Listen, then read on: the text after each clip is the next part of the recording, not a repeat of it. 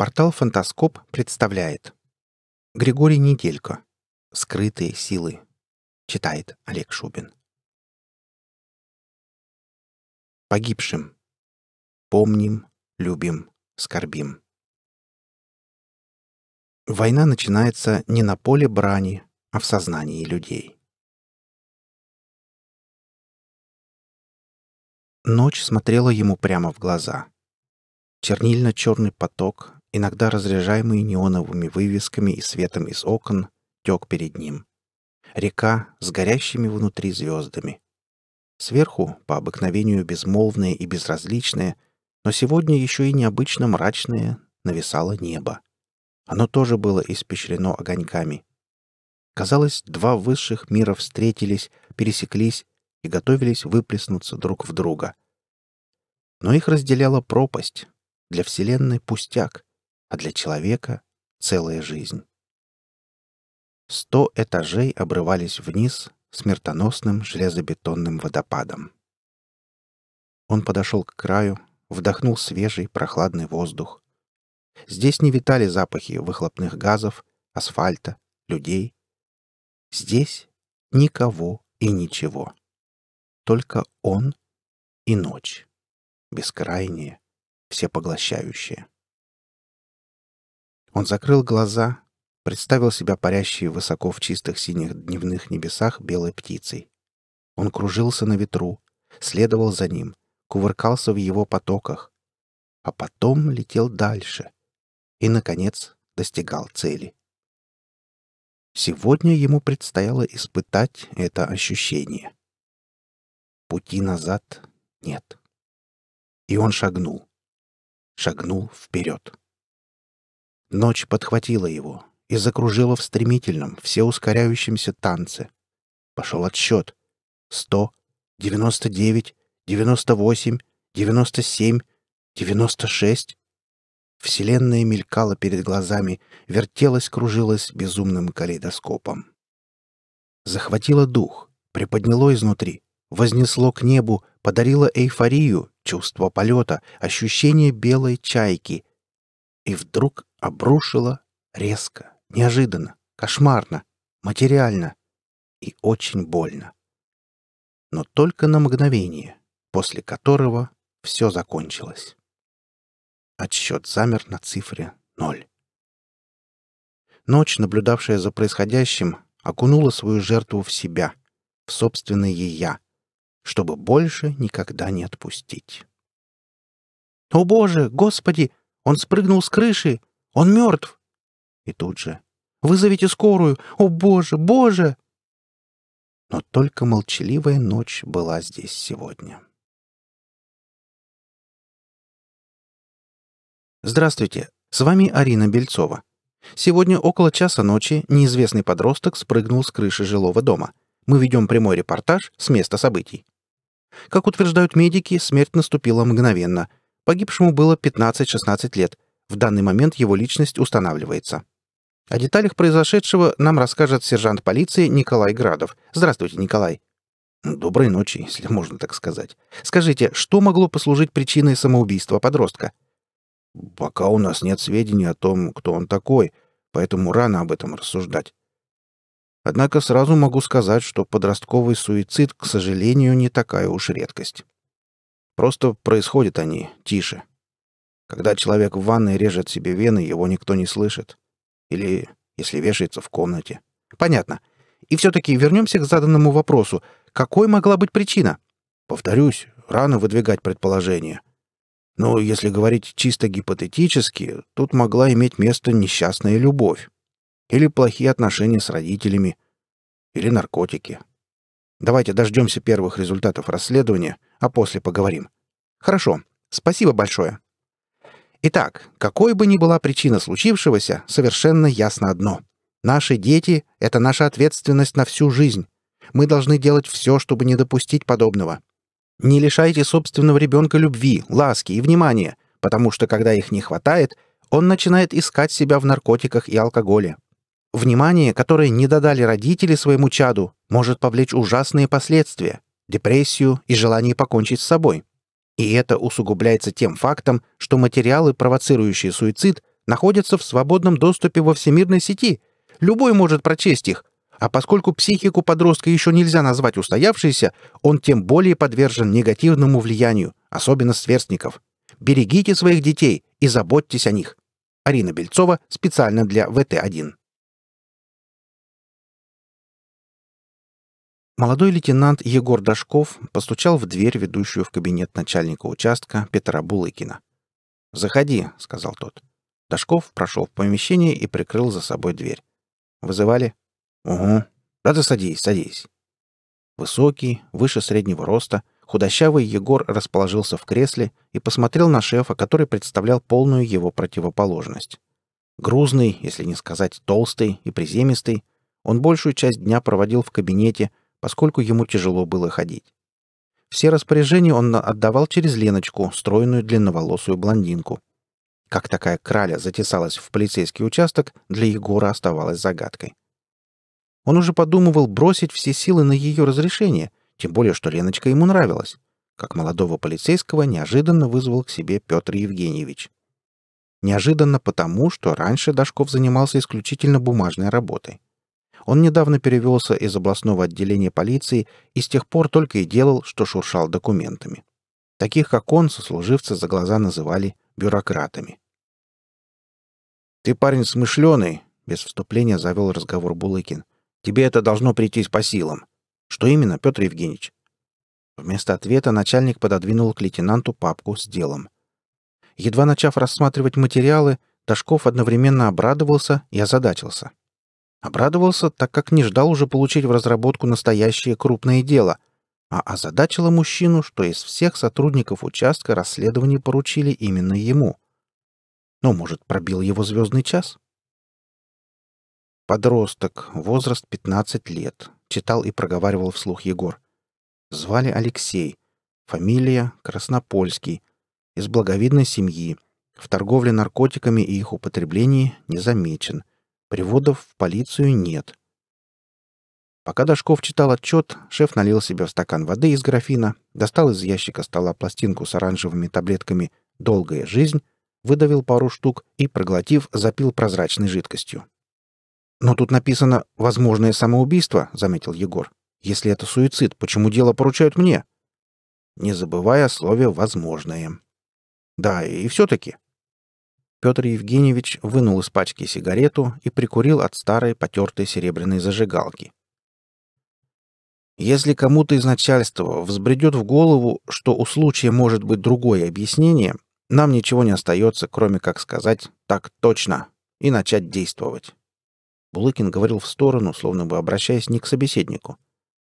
А если у этого самого начальства есть влиятельные, богатые друзья, то положение вообще безвыходное. Мы должны попытаться раскрыть это дело, даже если раскрывать нечего. Но почему все-таки я? Ведь с того момента, как я приехал, а кого я должен был назначить? Перебил подчиненного шеф. Левина? Фоменко?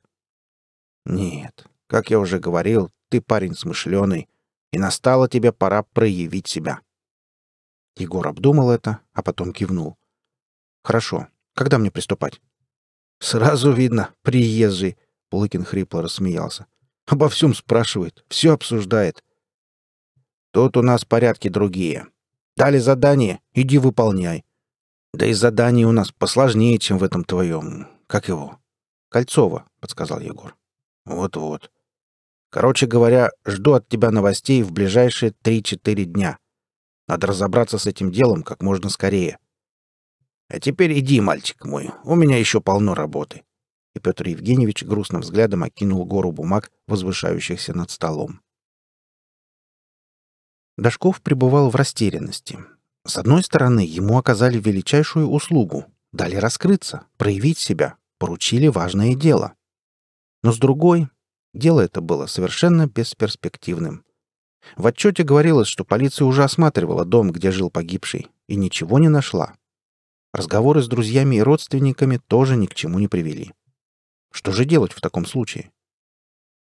Егор прислонился к стене и проводил взглядом проходившую мимо Леночку.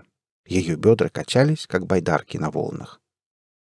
«Привет, курсант», — заметив взгляд лейтенанта, бросила женщина. «Привет», До скольки сегодня работаешь?» Леночка остановилась и посмотрела на часы. «Боюсь, сегодня ничего не получится. Извини», — сказала она. «А завтра?» — не отступал Дашков. «А завтра посмотрим». И, улыбнувшись ему, Леночка ушла. Егор какое-то время глядел ей вслед, а потом на дверь, за которой скрылась симпатичная полицейская. Но в голове его вертелись мысли о деле. С чего начать? Как подступить к расследованию? В итоге, ничего лучше не придумав, он решил вторично обыскать дом Краснопольских. Возможно, его коллеги что-нибудь упустили из виду. За работу, которую необходимо сделать, надо взяться, несмотря на ощущения. А выгорит дело или нет, покажет время. К тому же у него будет возможность подумать над тем, что делать дальше. Хлопнув в ладоши, Дашков оделся и вышел из полицейского участка в осеннее московское утро. Увеличившаяся жизнь — это наше благо. Увеличившаяся жизнь — это подарок Бога. Увеличившаяся жизнь — это наш путь к счастью. Давайте же не будем тратить его зря. Давайте забудем распри и обиды. Давайте радоваться каждому дню как чуду и верно служить родной стране. Мы за увеличившуюся жизнь и светлое будущее для всех. Реклама «Но-Суж» Новороссийского общества сторонников увеличившейся жизни. Егор присел на стоящий посреди комнаты стул, чтобы отдохнуть. На повторный обыск дома ушло два с лишним часа, и это не считая времени, что он потратил, получая ордер. Как и ожидалось, оперативники ничего не нашли. Только зря потратил время, подумал лейтенант. А самое главное и самое неприятное, я не знаю, что делать дальше. Опрашивать знакомых Краснопольского? Так их уже опрашивали. Не повторять же по второму разу все действия коллег. Кроме того, предчувствие подсказывает мне, что результата это не принесет. А что принесет? В каком направлении двигаться? В расстроенных чувствах Егор полез в карман за таблетками «Долгая жизнь». Достал упаковку, что всегда носил с собой. Вынул пластинку, выдавил пару кругляшков на ладонь, но, видимо, задумавшись, случайно опустил руку, и таблетки упали на пол. Вот черт! Куда они укатились, Дашков не заметил, поэтому встал на колени и принялся осматривать пол. Пропажа нашлась под компьютерным столом, стоявшим вдоль правой стены. Однако, найдя таблетки, мужчина тут же о них забыл. А это еще что? Забравшись под стол, он едва ли не уперся носом в стену и потому смог хорошенько ее рассмотреть. Прямо перед ним находилось секретное отделение. Дверца. Тайник. Неудивительно, что делавшие обыск оперативники его пропустили, думал Егор, отправляясь на кухню за ножом. В полумраке очень сложно его разглядеть, а тайник, к тому же, очень маленький. Вернувшись, полицейский снова залез под стол и поддел дверцу лезвием. Она легко отошла, явив небольшое темное углубление. Лейтенант пошарил в нем рукой и вытащил сложенный вдвое лист бумаги. Вылез из-под стола, развернул листок и прочитал неровную вереницу букв. Текст скакал, как кузнечики по траве, поэтому полностью разобрать написанное Дашкову не удалось. «Я чувствую это и...» Схожу с ума. Мне плохо, очень плохо. Больше нет сил терпеть. Читая, мужчина шевелил губами. В моей смерти прошу не винить. Я знаю, вы не хотели слушать, но все-таки поверьте, я завещаю, вскройте меня как яйцо, прощайте, люблю. Мужчина сложил бумагу и убрал в карман. Предсмертная записка сумасшедшего, родители которого всяческими способами старались скрыть его ненормальность? Возможно. Если так, то дело можно закрывать. Но вдруг нет. Вдруг за бредовыми словами стоит нечто большее. Или он специально убеждает себя в этом, потому что ему хочется отличиться. Во всяком случае, время еще есть, чтобы выяснить все детали — Вскройте меня как яйцо. Хм, что бы это значило? Если здесь вообще есть смысл. Надо поинтересоваться результатами вскрытия, Почему-то информации о них не было в деле. Егор достал телефон и набрал номер полицейского участка, в котором работал. «Алло, это лейтенант Дашков. Мне нужно знать, в какой морг отвезли тело погибшего недавно Алексея Краснопольского». «Да, подросток. Да, предположительно самоубийство. Значит, на улице нового времени? Понятно. Спасибо». Егор вышел было из комнаты, потом вспомнил, что оставил таблетки на полу. Поднял их, помыл под струей холодной воды в ванной и проглотил, не запивая. Увеличившаяся жизнь — это, конечно, хорошо, но благодаря ей все население Новороссии подсело на колеса. Да, ученые уверяли, что они абсолютно безвредные, но кто знает.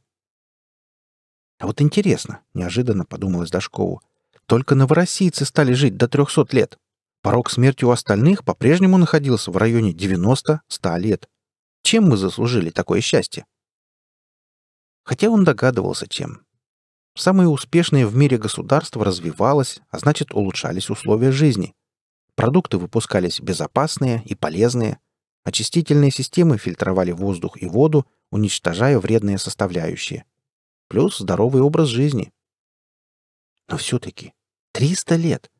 Не 150, не 200, а 300. Егор на ходу попрощался с родителями Пети, богатеями, которые, судя по их недружелюбной реакции, не воспринимали его всерьез. Мать погибшего подростка буркнула «до свидания», даже не повернув головы в сторону полицейского. А отец так вообще ничего не сказал. Но у Дашкова было слишком много дел, чтобы забивать себе голову подобными мелочами. Он спустился по лестнице и вышел на улицу.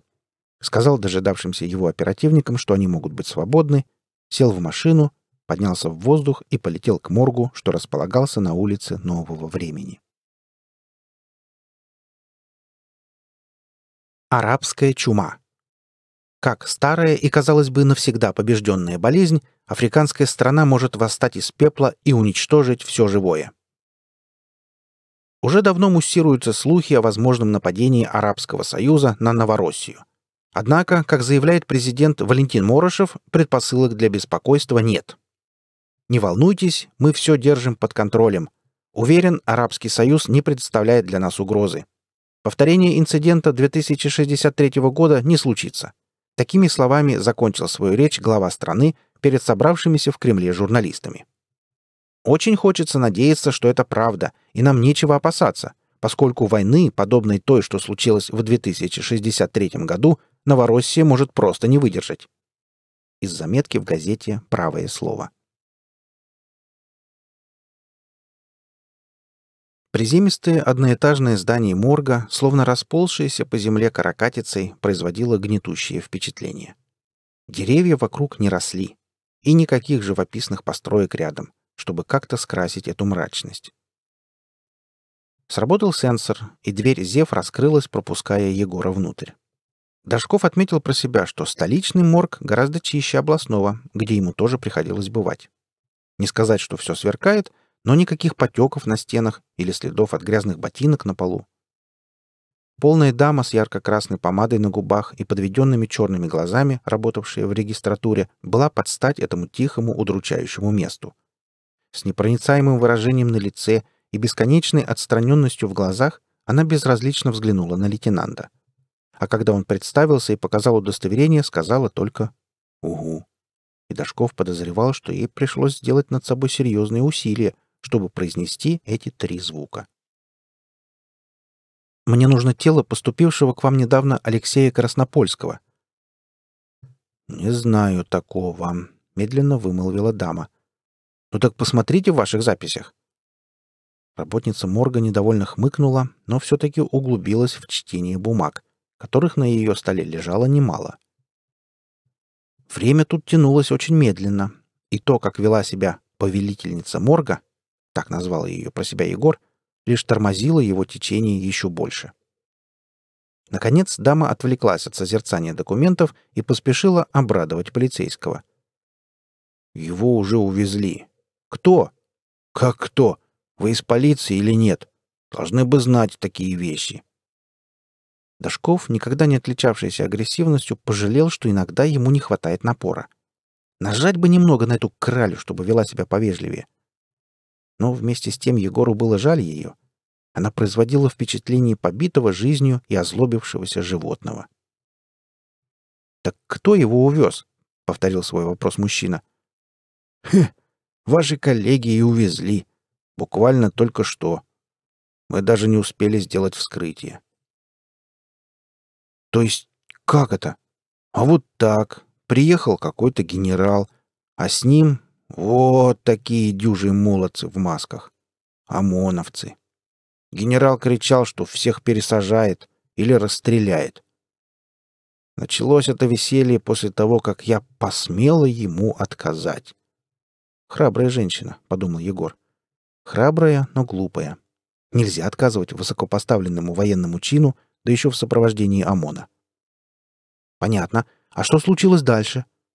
«Да ничего. Забрали они его и уехали. Но перед этим вояка плюнул в окошко регистратуры и, изрыгая проклятие в адрес всей моей семьи, пообещал, что меня вышвырнут с этой работы. И больше никуда не возьмут. Генералы они такие. Лучше их не злить. Дашков счел, что сейчас самое время для легкой шутки. Судя по ледяному взгляду повелительницы, он оказался неправ. «А куда они увезли тело, не знаете?» «Нет. И если у вас закончились вопросы...» Лейтенант понял, что больше ему ничего здесь не узнать. «У меня все. Спасибо и до свидания». «Итак, что мы имеем?» — думал Егор, направляясь к машине. Подросток-самоубийца. Предсмертная записка. Пропавшее тело. И полиция, которая его увезла. Куда? Зачем? И не потому ли, что я вышел на след? Сам того не подозревая. Вопросы копились, и надо было найти ответы. Дашков закрыл дверцу автомобиля, завел двигатель и взлетел. Возможно, я отыщу их в базе данных. Отчеты, рапорты, информация о деятельности оперативников. Что-нибудь должно там быть. И он направил машину обратно к полицейскому участку. За неделю до описываемых событий. Внимание, внимание! Экстренное сообщение.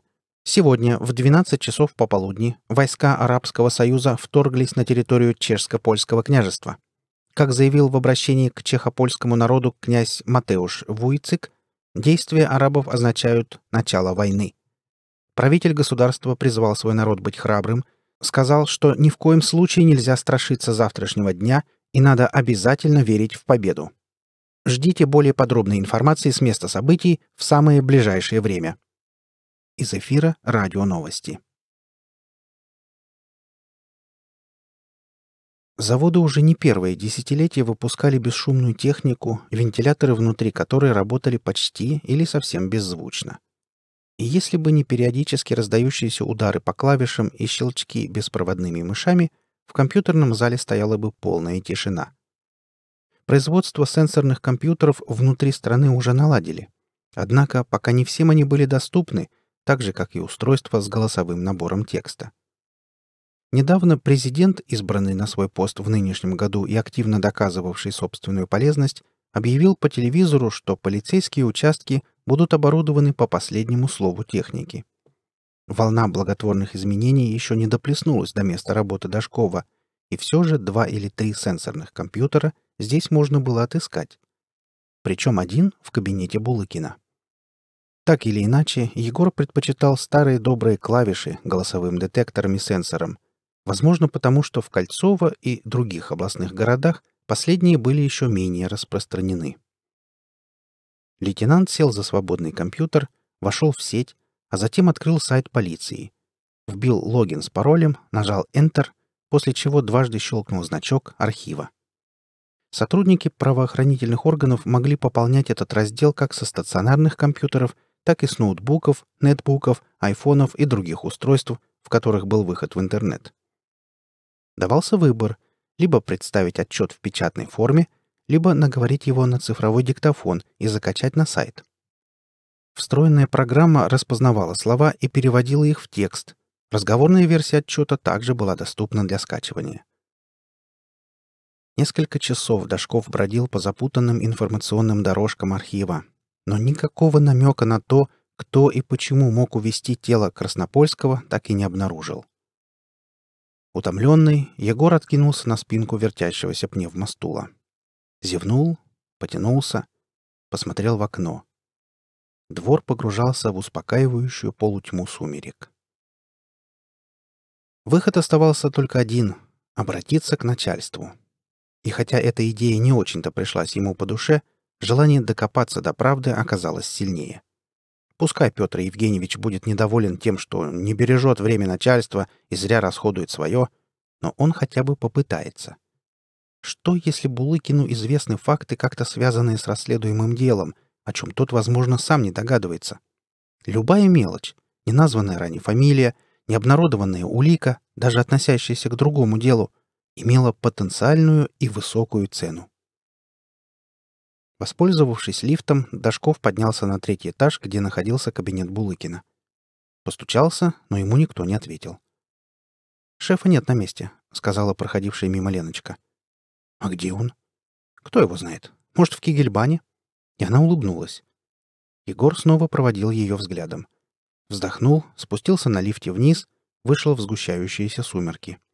Потом достал айфон и набрал номер начальника. «Алло!» — раздался из трубки на том конце недовольный голос. «Петр Евгеньевич, это Ташков». «Да, в чем дело, Егор?» «Нам нужно встретиться, поговорить». «Это срочно?» «Думаю, да. Это касается дела, которое я веду. Булыкин помолчал секунды две-три, а затем сказал. «Я сегодня уже не вернусь на работу. Разговор предстоит долгий?» «Не знаю, Петр Евгеньевич, как пойдет». «Тогда встретимся в ресторане «Светоч вкуса». Знаешь, где это?» «Да». «Тогда там, через полчаса. До встречи». Булыкин прервал связь. Егор выдавил на ладонь еще пару таблеток и проглотил их. По дороге к машине он думал о том, как государство вовремя сориентировалось. Когда узнало, что продолжительность жизни увеличилась, выпустило эти таблетки. Они поддерживали иммунную систему и регулировали процессы внутри организма. Все же такое долголетие было непривычно и не характерно по человеческим меркам, поэтому, не принимая люди долгую жизнь, последствия для их здоровья могли быть самые разные, в том числе критические.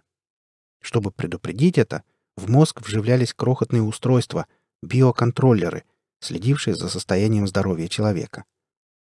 Контроллеры передавали информацию не только на персональные средства связи, но и в НЦМЗ – Новороссийский центр медицины и здоровья. Любой гражданин мог обратиться туда за бесплатной консультацией. «Как все сложно», — подумал Егор. «Но лучше, чем когда было проще». Автомобиль взлетел и устремился в надвигавшийся вечер. Жившие на российской территории народы были разобщены и ослаблены межнациональной враждой. Государство, сменившее Российскую Федерацию на географической карте, получило название Новороссия. Под предводительством своего первого президента Юлиана Нарышкина, в корне изменившего систему управления, страна начала путь к счастливой и безбедной жизни. По дороге к Оной Новороссию ждало множество трудностей. Безработица, расовый вопрос, забастовки, националисты. Однако наиболее сложной оказалась так называемая проблема 2063 года. В это время на молодое и активно развивающееся государство напали войска Объединенного Египта. В ходе жестокого противостояния обе армии понесли колоссальные потери. Множество жилых районов двух мощнейших государств было разрушено, погибли миллионы мирных жителей. В этой войне Новороссия одержала победу. Остатки египетской армии примкнули к войскам Арабии, а позже две африканские державы объединились под именем Арабского Союза. С того момента прошло два полных лишения и скорби года. Новороссия начала понемногу восстанавливаться. Заново отстроили разрушенные здания и дороги, дали жителям возможность прожить новую жизнь и прожить ее по-новому. Из учебника по истории Новороссии. Внутреннее убранство светочи вкуса было выполнено в классических тонах с преобладанием белого и темно-коричневого цветов. В ресторане стоял гул переговаривающихся за едой людей. Играла легкая, приятная, негромкая музыка. Петр Евгеньевич Дашков остановился напротив столика шефа. Булыкин был поглощен едой. Жареная курица в соусе, хрустящая картошка, экзотический салат с орегано, красное сухое вино, капучино и шоколадный торт. «Да ты присаживайся, Егор, присаживайся!» Лейтенант сел на затейливый деревянный стул. «Заказать тебе что-нибудь?» «Нет, я пока не хочу есть». «Вот я что-то проголодался. Да ужас как!» «Ну, о чем ты хотел поговорить?» Жуя курицу, спросил начальник. Егор вкратце пересказал все, что ему удалось выяснить, и поинтересовался, не может ли шеф что-нибудь добавить к этому. «Цена будет любая информация», — говорил Дашков. «Я чувствую, что подобрался достаточно близко, только вот не знаю к чему. Но у меня ощущение...» «Понимаю тебя, Егор, но нельзя же строить расследование на одном только предчувствии». «Это верно, поэтому я и прошу вас помочь». «Я бы с радостью. Да только мне ничего не известно. Хочешь картошки?» «Нет». Егор внимательно смотрел, как Булыкин поглощает еду, а в голове вертелась мысль. Он врет. Это тоже была догадка на уровне предчувствия. «Но еще опыта», — добавил лейтенант мысленно. «Сколько врущих преступников я перевидал на своем веку. И у каждого в глазах, когда он лгал, плясали чертики. Прямо как сейчас у моего шефа. Но зачем ему врать? Зачем скрывать правду? Какая ему от этого выгода? Разве не его главная цель как можно скорее раскрыть дело? А что, если он поставил на кон нечто большее? То, что затмевает собой удачное расследование и очередную похвалу от вышестоящих чинов. Дашков сам удивился таким мыслям, однако Петр Евгеньевич продолжал столь беззаботно поедать свой нехитрый ужин, что лейтенант не выдержал. Он вошел в следовательский азарт. «По-моему, вы чего-то не договариваете». «Угу». Судя по реакции Булыкина, он даже не сразу понял, что Егор хочет сказать. «Вы обманываете меня, Петр Евгеньевич. Но почему? Вы не хотите, чтобы я успешно раскрыл дело, так? Не доев курицу, Булыкин отложил в сторону вилку, вытер губы салфеткой и четко, чуть ли не по слогам произнес. «Мне кажется, что ты переутомился, Егор. Тебе надо отдохнуть. Что вы скрываете?» Начальник посмотрел на Дашкова ледяным взглядом. «И в первую главу отдохни от этого дела», — сказал Петр Евгеньевич. «Зря я поручил его тебе. Мне воспринимать это как отстранение?» Шеф подумал мгновение, а затем кивнул. Снова взял вилку, придвинул к себе тарелку с салатом и принялся за него.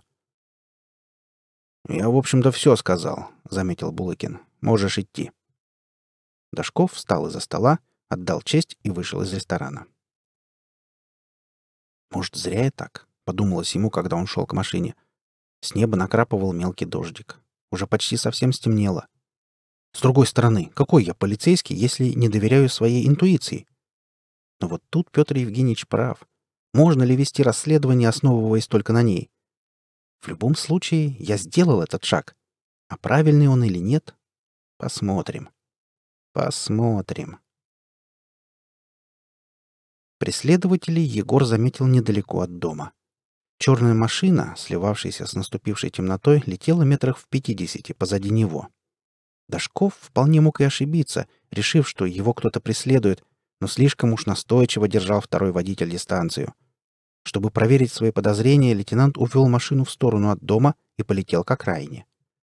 Транспортное средство, маячившее сзади, сделало то же самое. Все фиксировала и записывала камера наружного наблюдения.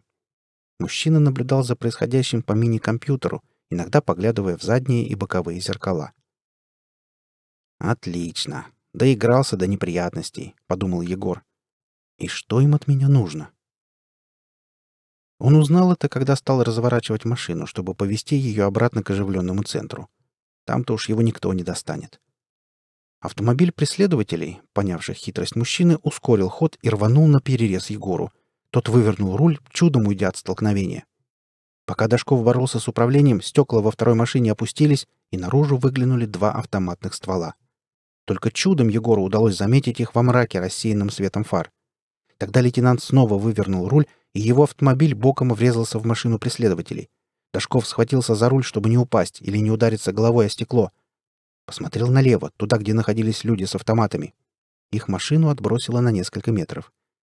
Дула больше не смотрели в его сторону, угрожающие и смертоносные, Видимо, преступники, кто бы они ни были, попадали, когда произошло столкновение. Воспользовавшись этим, Егор рванул вперед. Через несколько секунд погоня возобновилась, но на сей раз на более высоких скоростях. И выстрелы, они все-таки прозвучали в укрытом темной пеленой небе. Дождь усилился и барабанил каплями по спасающейся от погони машине. Дашков маневрировал, уворачиваясь от летящих в его сторону пуль. Некоторые металлические тельца все-таки попали в корпус, засев там или пробив дыры. Две пролетели сквозь заднее стекло, застряв где-то в салоне, но ни одна не ранила полицейского. Наконец, впереди замаячили неоновые огни центра. Нападавшие неожиданно прекратили стрелять. Егор подумал, что у них закончились патроны, и они перезаряжают оружие. Невдалеке лейтенант увидел висевшую на здании вывеску с крупными буквами, которые горели красным. «Гостиница». Не сбавляя хода, мужчина подлетел к ней на опасно близкое расстояние и вдруг резко потянул руль на себя. Машина, встав на дыбы, устремилась в небо, тогда как преследователи, разогнавшиеся до сумасшедшей скорости, не сумели вовремя уйти от столкновения. Как результат, мощный удар, летящие во все стороны искры, опадающая кусками вывеска и смятый автомобиль.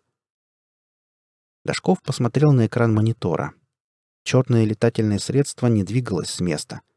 Удовлетворенный тем, что увидел, Егор достал iPhone и набрал номер воздушно-постовой службы. Не представляясь, сообщил работнику ВПС об аварии и попросил прислать по адресу, он снова взглянул на экран, Медведевская, 45, машину. Мужчина решил лишний раз не светиться, да и неизвестно, велось ли за ним наблюдение. Быть может, сейчас сюда прибудут дружки этих бандитов, или те придут в себя и продолжат начатое дело. В общем, поразмыслив, лейтенант направил машину обратно к окраине, туда, где находилась его квартира. «Все это неспроста», — думал Егор, приземляясь на парковку. Он успел прийти в себя после случившегося, однако сердце все равно колотилось быстрее обычного. Отказ Булыкина помогать мне, отстранение от дела, таинственные преследователи, покушение. На что угодно готов спорить, эти события связаны. Но как? Вот что предстоит выяснить. Он поставил машину на сигнализацию. Прячась от дождя, натянул на голову куртку, вбежал в подъезд, поднялся на лифте на свой этаж. Все это время Дашков размышлял о случившемся. Он рассматривал произошедшие события то под одним углом, то под другим, и в конце концов пришел к выводу, что единственный способ проверить связь между отказом Булыкина и нападением неизвестных — это обыскать квартиру шефа. Егор был практически уверен, что найдет там улики — вот только это практически могло стоить ему работы, карьеры и много чего еще. За сегодняшний день он очень устал. Сил думать больше не было, поэтому он быстро принял душ, разделся, лег в кровать и уснул. Во сне ему привиделись черные незнакомцы с автоматами, стреляющие неоновыми буквами по летающим гостиницам. Арабы стояли стройными рядами, уходящими вдаль. Сливающаяся в огромный прямоугольник песочного цвета атакующая сила. Войско одного из самых богатых и крупных государств было вооружено по последнему слову техники. Танки и вездеходы, летающие бронетранспортеры, самолеты и вертолеты. Солдаты несли заткнутые за пояс пистолеты «Пустынный вихрь» последней модели. Остро наточенные боевые ножи лежали в ножнах, прикрепленных к голеням.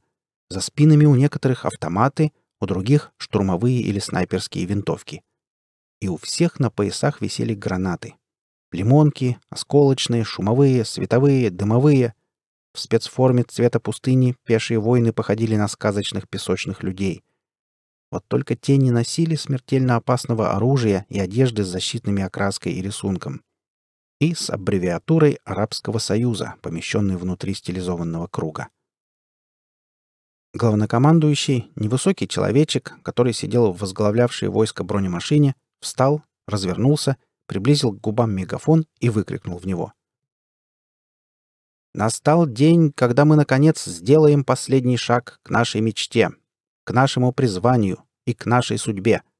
Мы одолеем заклятого врага, подобно раковой опухоли, пожирающего ресурсы и земли планеты, заполонившего собой все и не желающего останавливаться. Имя этому врагу — Новороссия. Недолго, совсем недолго осталось ее толстосумам жировать за счет других. Мы остановим страну потребления, ибо у нас есть предназначение, которое не может не быть исполненным. Так вперед же, братья, вперед! За нашу страну и наше светлое будущее! Да здравствует Арабский Союз!» Командующий армией вновь развернулся и указал рукой в направлении границы. Войско взревело и двинулось вслед за отъезжающей бронемашиной. Словно невероятных, гигантских размеров удав передвигался с места на место. Второй военачальник, поменьше званием, повернулся к командарму и сказал.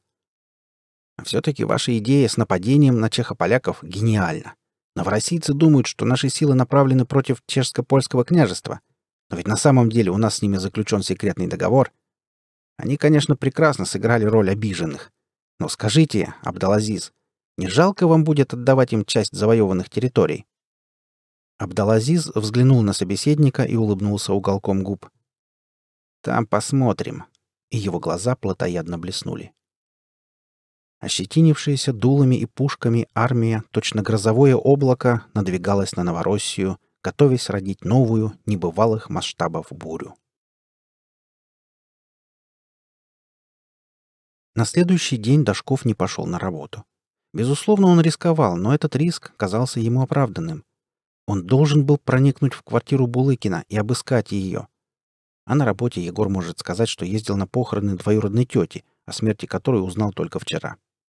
Опасная ложь, но он надеялся, что его слова никто проверять не станет. Утром Дашков включал телевизор в надежде, что по новостям или в выпуске «Дорожного патруля» расскажут о приключившемся с ним вчера происшествии. Однако журналисты не сделали даже коротенького ролика об этом. Доев бутерброды и допив кофе, Егор помыл посуду, оделся и отправился на общественном транспорте в Строгино, где жил Петр Евгеньевич. На машине лейтенант решил не лететь. После столкновения бок был поцарапан, и в нем образовалась длинная глубокая вмятина. Автомобиль стал слишком приметным. Автобус приземлился прямо напротив Булыкинского дома. Дашков подождал, пока из подъезда кто-нибудь выйдет, а когда на улице показался подросток в новомодной одежде, придержал дверь и зашел внутрь. Какой там этаж? Кажется, семнадцатый. Пребывание в компании преступников и злодеев принесло свои плоды, Например, Дашков научился взламывать электронные замки. Это умение сейчас очень ему пригодилось. Пока он, одетый в черные эластичные перчатки, возился с замком, его одолевали тревожные мысли. А вдруг кто-нибудь увидит? Но на лестничной площадке никто не появился. Разобравшись с замком и положив отмычку в карман, Егор скользнул в квартиру, закрыл дверь и облегченно вздохнул. Но уже в следующий момент удивленно присвистнул. Раньше он не был у шефа дома, и, судя по тому, что увидел Дашков, Булыкин тратил немерено денег на обустройство квартиры. Откуда у Петра Евгеньевича, пусть даже он начальник участка, столько средств, лейтенант мог только догадываться.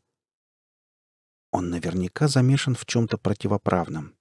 Где бы еще он достал деньги на эту голографическую систему, киберванную, автоматическую кухню и все остальное? Ташков переходил из помещения в помещение, осматриваясь, привыкая к обстановке. Времени у него предостаточно. Шеф вернется с работы только вечером.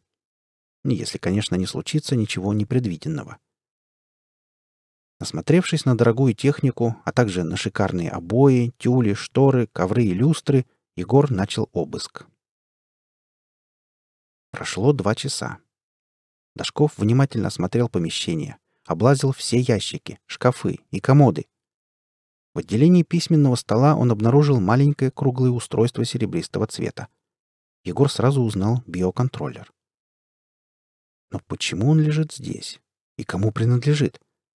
Или это контроллер Булыкина? Но как он живет без столь необходимого устройства? В голове Егора теснились, сбивая друг друга вопросы. А что это за записка? Мужчина раскрыл лежавшую под контроллером бумажку и прочитал написанное на ней единственное слово — «Дашков». Лейтенант не верил своим глазам. Значит, его начальник как-то связан с самоубийством мальчика. И с недавним покушением тоже. Но почерк не его. Чей же? Новые факты, новые вопросы. Тут было над чем подумать. Например, почему Булыкин не уничтожил улику? Крайне неосторожный, а может и самонадеянный поступок. Неужели у Петра Евгеньевича не хватило времени на то, чтобы спустить этот листок в унитаз? И биоконтроллер? Зачем он здесь? А что, если эти улики — приманка? Внезапно возникла мысль. Все может быть. Но останавливаться поздно. Надо идти до конца. Егор сунул и записку, и биоконтроллер в карман, вышел из квартиры и запер дверь. О том, что кто-то проникал внутрь, говорили лишь едва различимые царапинки на замке. Но если не присматриваться, их трудно было заметить. Лестничная площадка по-прежнему пустовала. Пора убираться отсюда. В гараже Женьки-технаря царил полумрак. Егор решил навестить старого друга и показать ему найденный контроллер. Вдруг-то обнаружится что-нибудь интересное. Женька получил высшее техническое образование и прекрасно разбирался во всякого рода механизмах и устройствах, за что и удостоился своего прозвища. В определенных кругах он прослыл гением. «Это биоконтроллер», — сказал Женька, вынув устройство из-под микроскопа. «Обычный биоконтроллер?» — уточнил Дашков. «Ну да, насколько я могу судить. То есть?» Понимаешь, ученые держат в секрете технологию создания и функционирования этих штучек. Конечно, молодцы вроде меня уже успели их и разобрать, и разглядеть, но вот как они работают, нам до сих пор не до конца ясно. И как только наши ученые умудрились создать столь тонкую и сложную вещь. Понятно. А мне вот нет. Эм, а ты не скажешь, откуда он у тебя? Не могу. М -м, военная тайна. «Понимаю. Вроде того». Егор проглотил пару таблеток долгой жизни и достал телефон. «Погоди минутку», — сказал он Женьке. Потом набрал номер Леночки и стал ждать. Долгие три гудка на звонок не отвечали, но затем женщина произнесла «Алло? Лена, привет». «Привет. Позвонила пригласить меня на ужин?» «Я бы с радостью, но сейчас у меня очень много дел». «Хм, ты мне отказываешь?» — удивленно сказала Леночка. Раньше было наоборот. Да нет, что ты. Я с радостью поужинал бы с тобой, просто... М? М, похоже, я попал в ситуацию и не знаю, выкручусь ли. А как я могу помочь? Не поняла женщина. Возможно, кто-то услышит то, что я тебе скажу. Видишь ли, я совершенно один и не знаю, где могу оказаться сегодня. Совсем не знаешь? Совсем. Кажется, я тебя поняла. Значит, ты все сделаешь? Да. Хорошо. Спасибо, Ленок. Ленок? Да, Дашков. Будь осторожен. Егор улыбнулся, хотя собеседница его не видела. «Буду», — повещал он и прервал связь. В этот самый момент раздался оглушительный звук. Дверь гаража слетела с петель, и внутрь стали вбегать люди в черных масках с автоматами в руках. От неожиданности Егор и Женька застыли на месте. «Вот он! Взять его!» Стараясь перекричать шум, скомандовал кто-то резким неприятным голосом. ОМОНовцы подбежали к Дашкову. Мужчина понимал, что сопротивляться бесполезно, и все-таки попытался нанести контрудар. «Я сотрудник полиции!» Он полез в карман за удостоверением, но один из незваных гостей, видимо, решил, что Егор тянется за пистолетом, и со всего размаху заехал лейтенанту прикладом по голове. «Что вы делаете?» — где-то за гранью сознания услышал Дашков голос Женьки. Затем раздались выстрелы. И крик «Разве я приказывал стрелять? Чертов болван!» Вы же видели, он набросился на меня. Ничего бы он тебе не сделал. Ладно, свидетелем больше, свидетелем меньше. Тащи Дашкова. Продолжение разговора лежащий на полу Егор не услышал. Он потерял сознание. Главнокомандующий Новороссийской армии, ГНА. Наступление арабов на наши земли началось в точном соответствии с полученными данными. Президент Новороссии, ПН. Что вы делаете, чтобы отразить атаку? ГНА. Заблаговременно были приготовлены ударные силы, которые должны отразить нападение врага. Сейчас они ведут бой с арабской армией. ПН. Каковы результаты на данный момент? ГНА. Наши потери по сравнению с арабскими незначительны. ПН. Что вы планируете предпринять дальше? ГНА. Очень важно отразить первую атаку, чтобы деморализовать противника и помешать ему осуществить быстрый захват земель. П.Н. арабы сделали ставку на молниеносную войну? ГНА. Да, как Гитлер в свое время. ПН. Я надеюсь, что, как и он, они ошиблись в выборе тактики. ГНА. Мы приложим все усилия, чтобы ваши надежды оправдались. Из секретных архивов Кремля. Ведро холодной воды, вылитое на голову, привело Егора в чувство. С трудом придя в себя, Дашков отметил несколько неприятных вещей. Во-первых, жутко болела голова. Во-вторых, он связан. И в-третьих, он находился в неизвестном месте в компании людей, явно не питавших к нему родственных чувств. С потолка свисала одинокая лампа старого образца. Мокрая одежда неприятно липла к телу.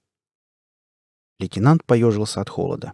Затем попытался вынуть руки из пут, скорее инстинктивно, чем в надежде освободиться, но у него ничего не получилось. «Не старайся, мои люди связывают на совесть». Этот голос... Ташков его уже слышал.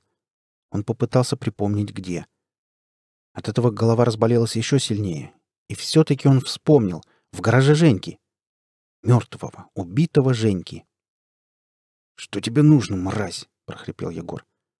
«Я бы на твоем месте постерегся так разговаривать с генералом!» — рыкнул один из ОМОНовцев, окружавших Дашкова. «Да пошел ты!» — ответил на это лейтенант, за что тут же получил удар прикладом в живот.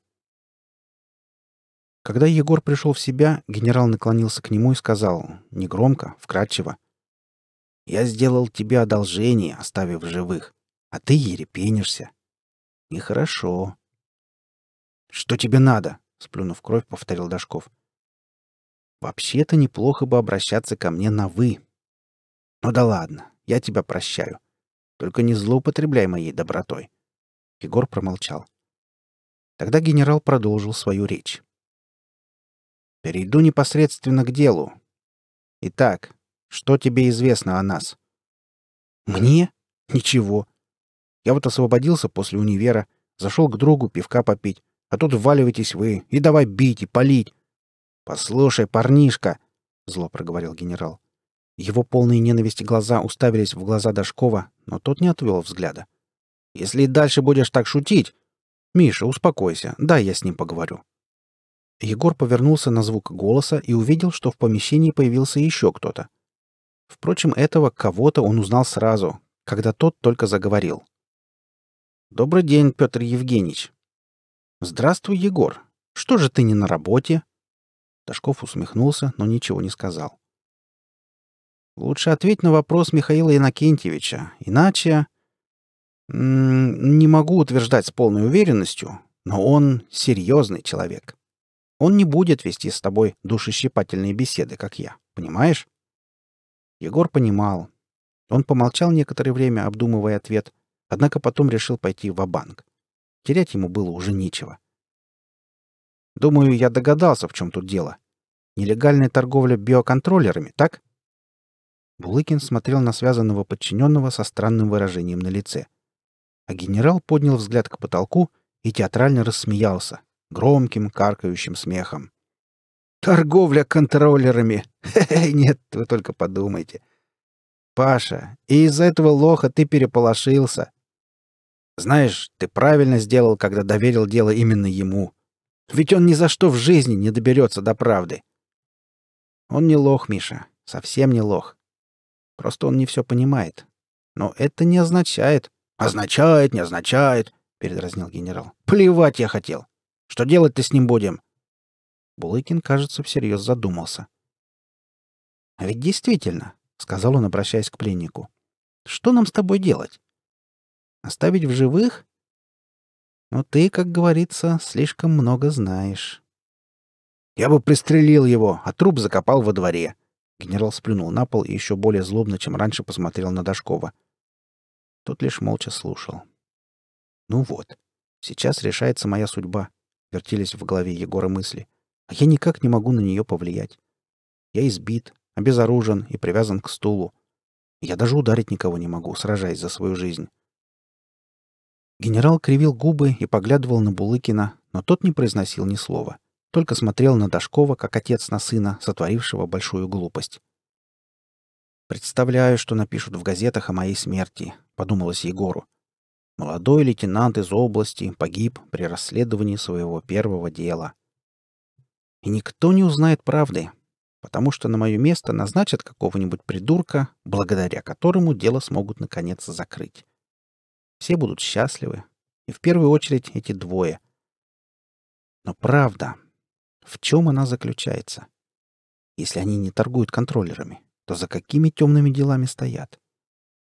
«Он мне надоел!» Генерал неожиданно выхватил пистолет и направил его на Дашкова. Лейтенант бесстрашно посмотрел в глаза разъяренному военному. «Убери ствол!» — накинулся на подельника Булыкин. «Не смей! Ты забываешь, кто тут главный! Отойди, я пристрелю его!» Снаружи послышался какой-то шум, но два спорщика не обратили на это внимания. «Нам не нужны трупы!» — зашипел Петр Евгеньевич. «Все затевалось именно для того, чтобы не допустить смертей. Помнишь?» «Да отойди ты!» И генерал отмахнулся от Булыкина, как от надоедливого насекомого. «Отдай мне пистолет!» «Да? А может, еще...» Что еще, Егор так и не узнал. Неожиданно открылась дверь и вбежал какой-то тип, наверное, один из охранников. «Босс, там полицейские! Их много! Они убили несколько наших и направляются сюда!» «Это все твой выродок!» — не своим голосом заорал генерал. Отпихнув Булыкина, поднял пистолет и выстрелил. У военного не было времени прицелиться. Только это и спасло Дашкова. Пуля вошла в левое плечо и засела там. Сжав зубы, Егор взвыл от боли, дернулся, стул покачнулся, и мужчина упал на пол. Краем глаза он заметил, как ко входу в ангар подбегает несколько людей в полицейской форме с пистолетами наголо. «Стоять! Полиция!» «А свинца не хочешь, тварь?» — выкрикнул генерал и направил пистолет на вбежавших служителей правосудия. Тут же раздались выстрелы. Полицейские не стали дожидаться, пока военный откроет огонь. Две или три пули угодили в грудь генералу. Его отбросило назад и повалило на пол. «Всем не с места! Пушки на пол!» Находившиеся в ангаре исполнили приказ и подняли вверх руки. «Вяжи этих!» — полковник полиции обращался к сержанту. «А мы с ребятами займемся теми, что остались снаружи. Иванов, освободи Дашкова!» Пока сержант заковывал в наручники обезвреженных преступников, его соратники забаррикадировали дверь стулом, выбили стекла и начали отстреливаться. Рядовой Иванов тем временем достал нож и обрезал веревки, связывавшие Егора. «Спасибо. А бинта у тебя не найдется?» — на всякий случай уточнил лейтенант. Белобрысый и голубоглазый Иванов с сожалением развел руками. «Еще совсем пацан», — подумал Дашков. «Ему жить да жить. Зачем его взяли сюда? А ведь наверняка сам захотел. Напросился». Стреляющие со двора бандиты тяжело ранили двух полицейских, но и их собственное положение не вызывало оптимизма. Большая часть людей в масках была уничтожена. Иванов порыскал по ангару, покопался в шкафчике и нашел бинт. Быстро размотал его, отрезал ножом солидный кусок и перевязал Егору руку. «А пулю вынем, когда выберемся», — сказал рядовой. «Если выберемся», — уточнил Дашков. «Обязательно выберемся, Егор Юрьевич». Давно его никто так не называл. Лейтенант рассмеялся, но тут же скривился от боли. «Можно просто по имени», — произнес он. За то время, что они с Ивановым общались, ситуация сильно изменилась. Полиция не понесла больше никаких потерь, а вот преступников осталось всего двое, да и те были легко ранены. Взяв громкоговоритель, полковник приказал сопротивляющимся выбросить оружие и сдаться с поднятыми руками. В этом случае он обещал боевикам право на жизнь. Те поняли, что ситуация складывается не в их пользу, и приняли выдвинутые условия. «Надеть на этих нелюдей наручники и всех в машину. Ташков, ты как?» «Хорошо. Спасибо. Тебе спасибо, что обнаружил это осиное гнездо. А как там Курильчук с Загородским?» Полковник имел в виду раненых. «Не очень, но, думаю, выкарабкаются», — ответил рядовой, успевший сделать перевязку и этим двум полицейским. «Пойдем», — сказал он затем Дашкову. Егор кивнул и, поддерживаемый Ивановым, заковылял вслед за уходившим полковником. Прошло две недели. Леночка регулярно навещала Егора в больнице, за что он был очень ей благодарен. Мужчина и женщина наконец нашли общий язык и договорились, когда Дашкова выпишут, устроить совместный ужин в каком-нибудь ресторанчике. Так и случилось. Еще совсем бледный, но счастливый Егор смог вернуться к нормальной жизни. Первое, что он сделал, это купил огромный букет цветов и подарил его Леночке, за что получил благодарственный поцелуй в щеку. Кажется, дело идет на лад. — подумал лейтенант.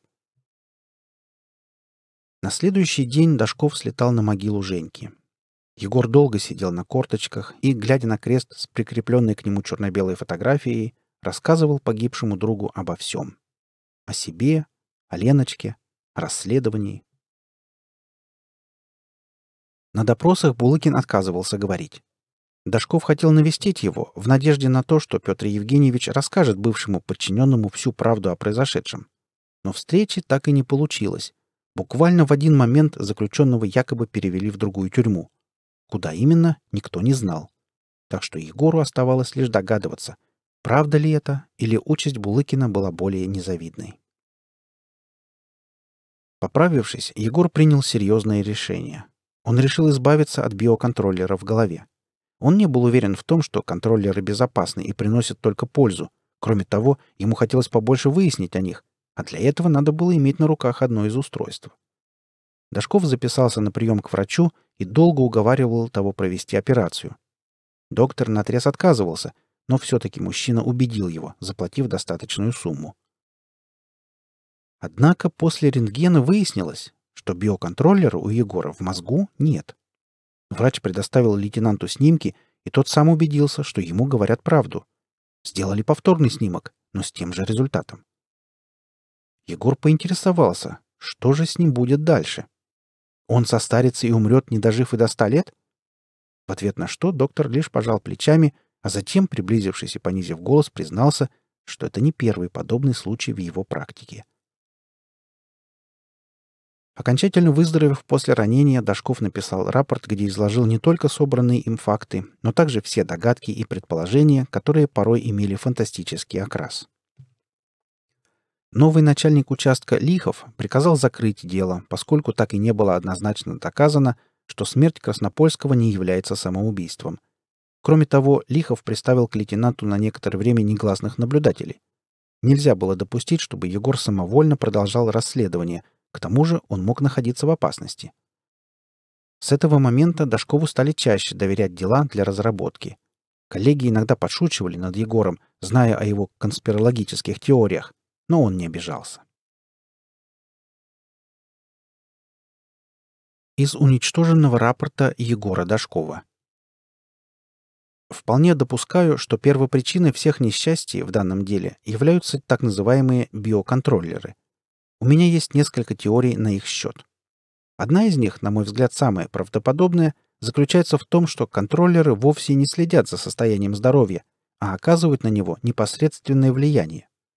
Таким образом, их следовало бы назвать биорегуляторами. Благодаря воздействию указанных устройств продлевается жизнь человека, улучшаются его моральные, физиологические и физические показатели, усиливается творческая активность. Однако любое воздействие извне влечет за собой неизбежные проблемы, в особенности, если речь идет о том, что создано и управляется самой природой.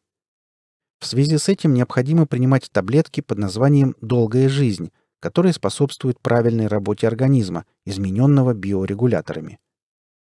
Возможно, последние могут производить как позитивный, так и негативный эффект.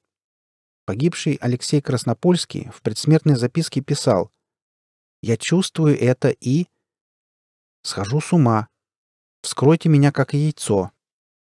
Не исключено, что он намекал именно на регуляторы, которые, по моей версии, и заставили его совершить самоубийство. Я предполагаю, что такие случаи довольно редки, и все же спецслужбам приходится скрывать их, маскируя под обычные криминальные дела. Дело в том, что когда болезнь, вызванная биорегуляторами, достигает апогея, происходит полное изменение структуры организма и ментальности человека. Вот почему власть придержащие приняли решение изъять тело Краснопольского из морга, не дожидаясь вскрытия. Я вышел на верный след, но меня опередили силы под командованием П. Е. Булыкина и генерала, которым оказался впоследствии опознанный М. И. Соловьев. Не думаю, что Булыкин и Соловьев возглавляли секретную организацию, разработавшую вышеописанную схему. Скорее всего, они были лишь подручными, хотя и достаточно высокого ранга.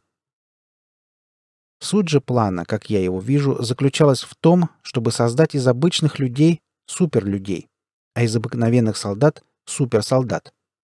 Высшие инстанции Новороссии знали о захватнических аппетитах Арабского Союза, Наверняка были они проинформированы и о планировавшемся завоевании нашей страны. Получается, им ничего не стоило заранее подготовиться к нападению, которое, между прочим, было отражено с минимальными усилиями и потерями. Это объясняет и причину территориальной ограниченности внезапно проявившегося долголетия.